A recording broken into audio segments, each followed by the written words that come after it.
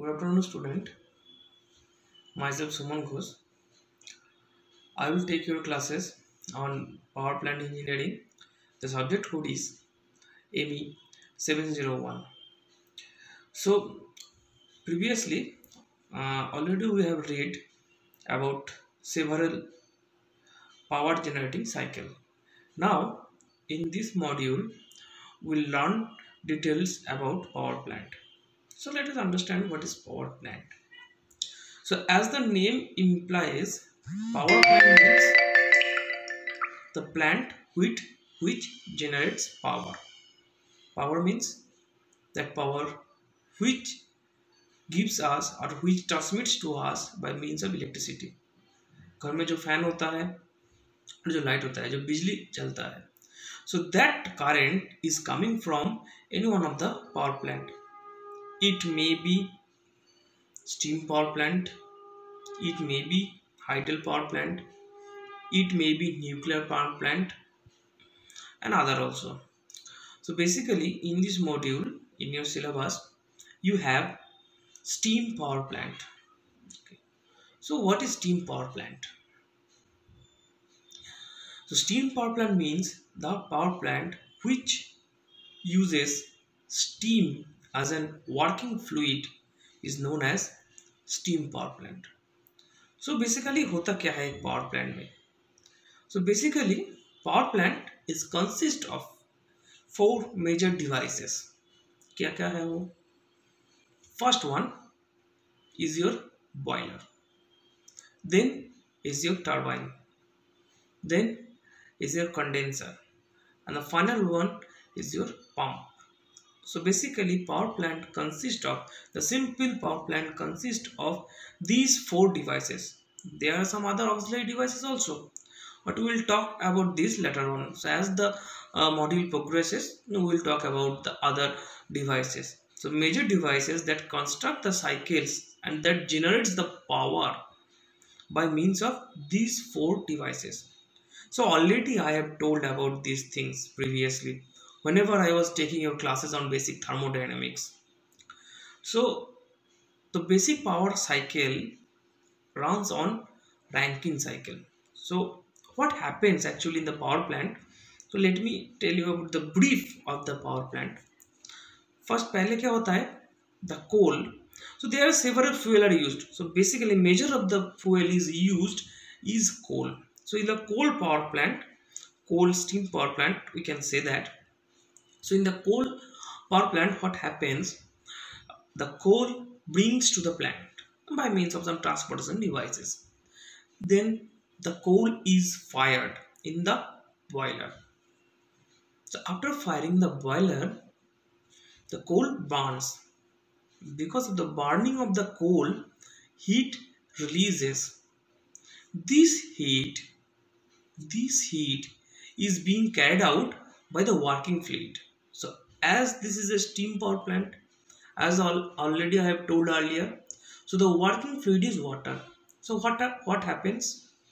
In the boiler by taking the heat that has been generated by burning of coal is the water vaporizes. And because of the vaporization it uh, it becomes highly heated okay. So the phase changes occurs from liquid to gas. Then again then again that steam is heated which is known as superheated. So if you remember in my thermodynamics classes already i have told that the zone you, you just remember the zone three zones. One is vapor dome liquid zone and then superheated zone.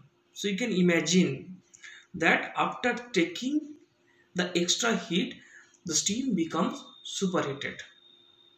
And being superheated the steam leaves the boiler. So after leaving the boiler it goes to the turbine. So turbine what is a turbine? Turbine is a device that generates power. By which? So this superheated steam and already high pressure steam comes into the turbine and in turbine and in turbine it expands. The steam expands. And because of this expansion the steam loses its heat as well as pressure. And that heat energy by means of some turbine blades and the rotor is converted into mechanical energy. And that mechanical energy rather converted into electrical energy. And that electrical energy is served at your home or our home. Then the cycle is not completed yet. Then after leaving the turbine after leaving the turbine the steam goes to the condenser. So if you go through by train you will see the in the power plant it has longer longer towers and the water is coming from top to bottom bottom. That is the cooling tower. That is nothing but the condenser of this power plant. So after leaving the power plant after leaving after after leaving the turbine the steam comes comes to the condenser which is the cooling tower. And in the cooling tower it cools. And the phase changes the phase changes occurs from gas gaseous phase to liquid phase. Then be, being the liquid it goes to the pump the pump the pressure increases. The pressure of the liquid increases and it is being fed to the boiler again. Thus the cycle continues. Thus the cycle okay. So let us understand the basic of the cycle. So already i have told you that any power plant has four devices. One is boiler then second is turbine. Then second is turbine. Then third one is condenser. And the fourth one is the pump. Okay the fourth one is the pump so these are the four basic components of a power plant or a steam power plant. Okay. Now uh, let us go to the diagram of this uh, power plant. Okay. So first uh, the first devices is boiler. First devices is boiler. So what happens in the boiler? So there is a coal. The coal is fired into the boiler the coal is fired into the boiler and in the boiler it catches the fire and the chemical energy of the coal the chemical energy of the coal is converted into the heat energy. Converted into the heat energy. Okay. And after burning the gases the flue gas the flue gas the flue gas is released to the atmosphere by means of chimney. This is known as chimney. So flue gas is released to the atmosphere by means of chimney. Okay. Then in the boiler there are several tubes. I will explain this, this one later. There are several tubes which carries the water, which carries the water. So when the water comes into the boiler, so when the water comes into the boiler, it vaporizes. That means the phase changes occurs. The phase changes occurs. Then after leaving the boiler, it goes to the turbine. It goes to the turbine. Already I have explained the previously just I am drawing the flow diagram. So in the turbine the steam expands and because of this expansion it produces some work mechanical work. And this shaft is connected to one generator one electrical generator which generate electricity and then it transmits then it transmits. Okay. Then that is not our part right now. We are strictly concentrating in this module in this four portion that is boiler turbine condenser and pump. So the after leaving the boiler the steam goes to the turbine. So in the turbine it expands and because of the expansion it produces some work and that mechanical work is converted into electrical work. Then after leaving the turbine it goes to the condenser. It goes to the condenser. So what happens in the condenser? In the condenser the heat is released. The heat is released to the the heat is released from the steam water mixture or vapor water mixture. And the mixture is totally converted into water after leaving the condenser after leaving the condenser. Then after leaving the condenser the water the water goes to the pump.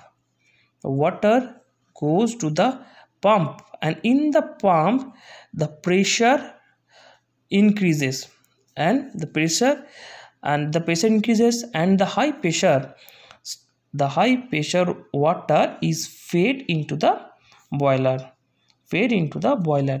So thus the cycle runs. So first from the boiler it the steam and high pressure high pressure high pressure and high temperature steam goes to the turbine then from turbine it goes to the condenser. And in the condenser it condenses. That means the phase change occurs. Then from the condenser it goes to the pump. And after going to the pump it goes to the boiler again. And in this boiler again the cycle runs. So basically this total power plant this total power plant runs on rankine cycle. Rankine cycle or Rankine cycle whatever you can say. So let me give the nomenclature. The points one this is the two this one three and this one is four. So this is the simple power plant. Simple rankine cycle i can say. Simple rankine cycle okay. So we know Rankine cycle consists of four steps. One is reversible isobaric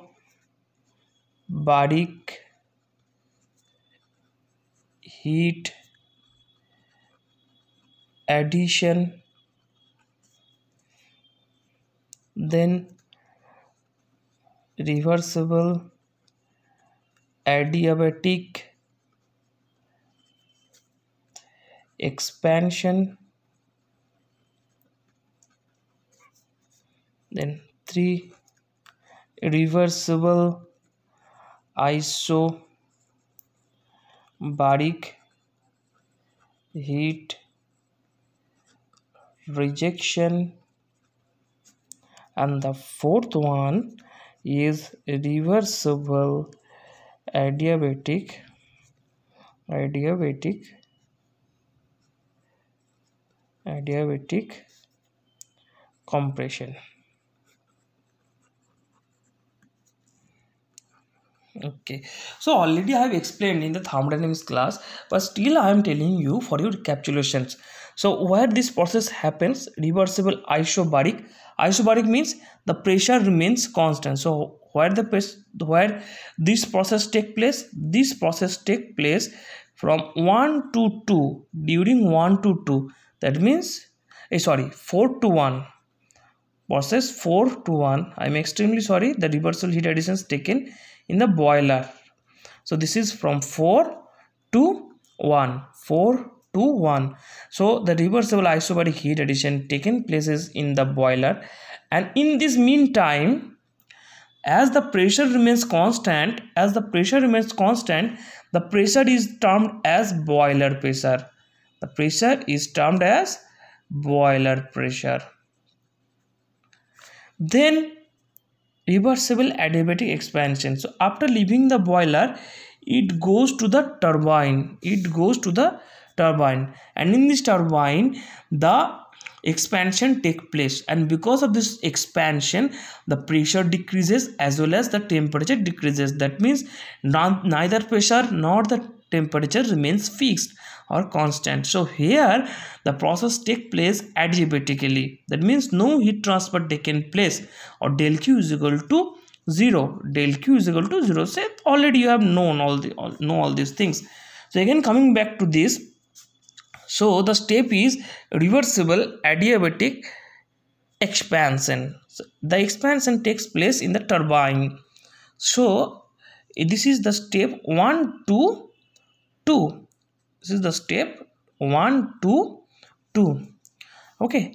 Then again reversible isobaric heat rejection. So the heat, heat rejection takes place in the condenser.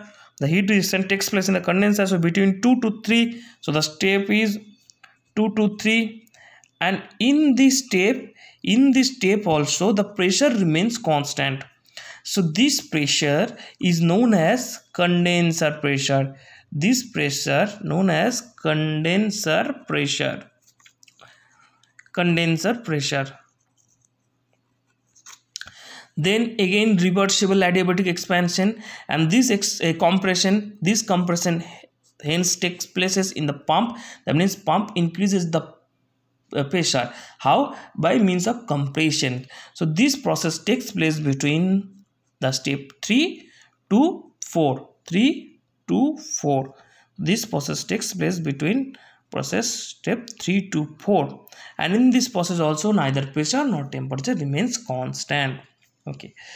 So you can see from this diagram that in simple rankine cycle or simple power plant i can steam power plant i can say so in this simple steam power plant uh, in the step 4 to 1 in the step 4 to 1 and 2 to 3 the pressure remains constant.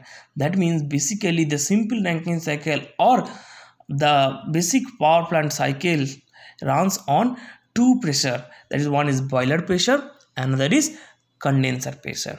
Okay. So now i will draw the pv and uh, sorry the ts diagram uh, as well as the pv diagram so that it will help you in your problems so today i will explain the um, pv diagram and uh, the ts diagram and the next day i will solve one problem on simple rankine cycle. Then we will move on to the attachments and the accessories of a power plant. Okay. So let me draw the ts diagram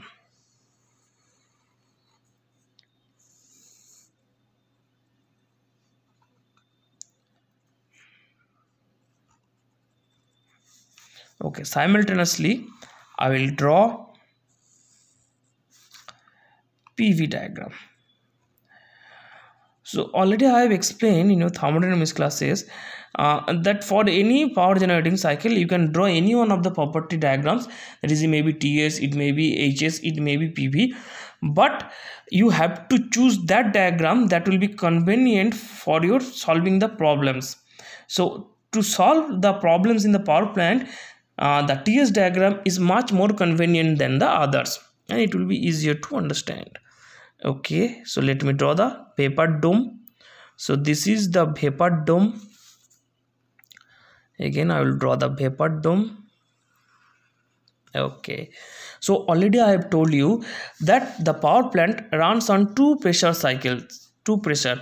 One is boiler pressure and there is condenser pressure. So initially i will draw the two constant pressure lines. Okay so let me draw. So first constant pressure line. So this is the first constant pressure line. And then the second constant pressure line. Okay so it will be easier to understand. That's why i am drawing the two pressure line. Okay so in the let me complete the diagram first. Okay.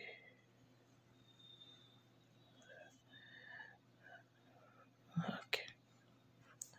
And here also let me draw the diagram.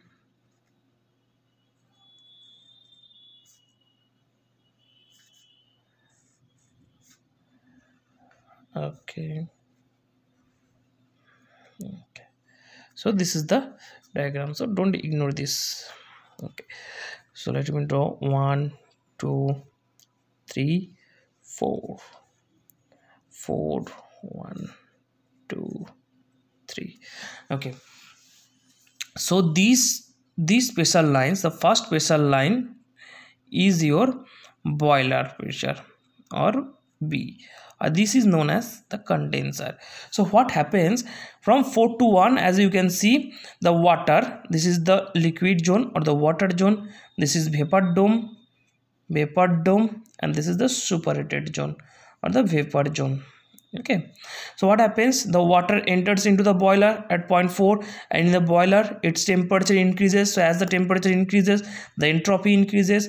Then the phase changes occurs. We know that phase changes occurs at constant temperature.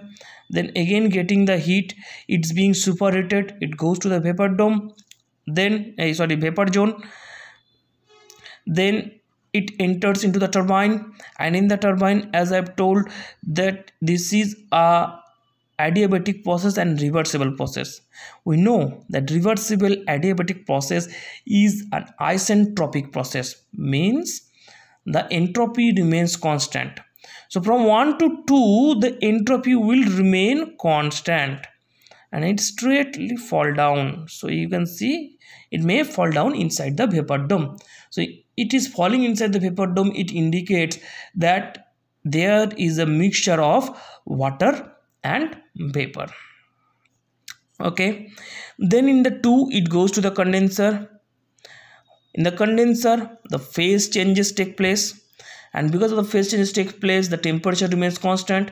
So the mixture the mixture of vapor and the water is fully converted into the water. And then again it goes to the pump and the pressure increases. So as the pressure increases the temperature will also increase. So same diagram over here. 1 to 2 you can see the volume increases the volume increases as well as the pressure falls. Then from 2 to 3 so this is your uh, turbine. This is your turbine. This is your condenser. This is your pump and this is your boiler. All right so 2 to 3 the phase changes take place at constant pressure. Then again 3 to 4 the pressure increases and 4 to 1 at boiler the pressure remains constant. So this is the basic cycle. Now i will explain this. So where the heat is coming inside. So in the boiler you know the heat addition take place. So let us consider the heat addition as q1 then in the turbine the work output is provided. That is wt turbine work. Then in the condenser then in the condenser heat rejection take place q2 and in the pump the work out input is required. Okay. Now i'll derive the efficiency in terms of the enthalpy. Okay. So let me derive. Okay. So uh, and again one one more thing i will tell you that here also we have to apply the first law of thermodynamics. That is summation of q is same as summation of w. So we can say q1 minus q1 plus because heat is going out so we have to consider the convention. Q1 plus minus of q2 is equal to work is going out that is positive work is coming in that is also negative. So if we do that we'll get q1 minus q2 is equal to wt minus wp so this is the from first law of thermodynamics. Okay. Now what is q1 so i will also find out in terms of enthalpy. So q1 is nothing but H1 minus H4. What is H1? H1 is the enthalpy at this point and H4 is the enthalpy at this point. So this is very much pretty simple. Now what is WT? Then what is the turbine work? It is nothing but WT is equal to H1 minus H2. Always we will take the positive value. Then similarly what will be the q2 that is the condenser work condenser heat rejection that is h2 minus h3 and what will be the pump work? It is wp wp is nothing but h4 minus h3 okay. So these are the basic equations. These are the basic equations. So whenever you have to been told to solve some problems always try to find out the enthalpies at the salient points. Okay. Now we'll find out the efficiency. What is efficiency? Efficiency is nothing but eta. It is output by input. So out what is the output? It is wt by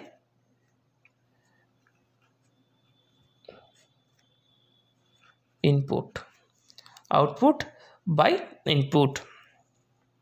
So what is wt minus wp it is nothing but q1 minus q2 by q1 is equal to 1 minus q2 by q1 and if we substitute the value of q2 by means of these values q2 and q1 so what we will get? It will become 1 minus h2 minus h3 by h1 minus h4 so eta will come this eta will come this. Okay. So eta will come this